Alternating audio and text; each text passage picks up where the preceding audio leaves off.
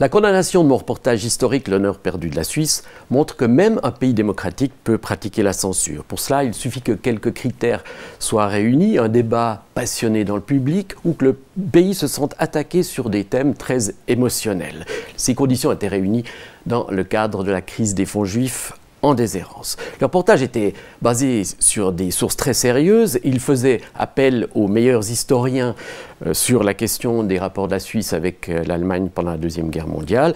Et pourtant, cela n'a pas empêché les autorités de le condamner, de museler la liberté d'expression. Et au passage, il faut aussi signaler qu'ils ont gravement atteint à ma réputation journalistique puisqu'ils me faisaient passer pour un manipulateur. Si la Cour européenne des droits de l'homme n'avait pas cassé cette condamnation, euh, non seulement ce reportage aurait été définitivement censuré, mais en plus moi-même et les autres journalistes du service public n'auraient plus pu enquêter de manière sérieuse et critique sur l'histoire de la Suisse je ne sais pas, c'est quand même un comble qu'il faille répéter ici que euh, le rôle de la presse est d'exercer malgré tout un contre-pouvoir sur les instances politiques ou administratives euh, qui ne sont évidemment pas euh, à l'abri d'un péché, d'abus, etc. Donc empêcher les journalistes d'enquêter sur ces sujets, c'est quelque part priver le peuple d'une information essentielle à son activité démocratique. La Cour européenne tient compte de critères tout à fait précis, euh, donc du, cadre légal, euh, des règles d'éthique. Euh, elle, tient compte de tout cela. Elle tient même compte de la proportionnalité de la sanction.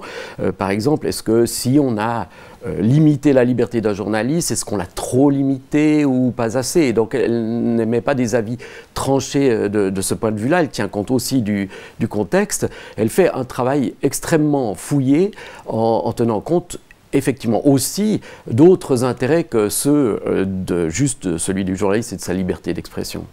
En fait, l'utilité de la Cour européenne des droits de l'homme par rapport à la Suisse, c'est juste de s'assurer que justement quand le contexte est très émotionnel, il y a un regard extérieur qui est capable de resituer les choses euh, dans un contexte, je dirais, plus raisonné et plus raisonnable. Euh, le nombre de cas qui ont été soumis en matière de liberté de la presse à la Cour européenne des droits de l'homme montre que ce n'est pas quand même tout à fait inhabituel qu'on atteinte à la liberté d'expression dans notre pays.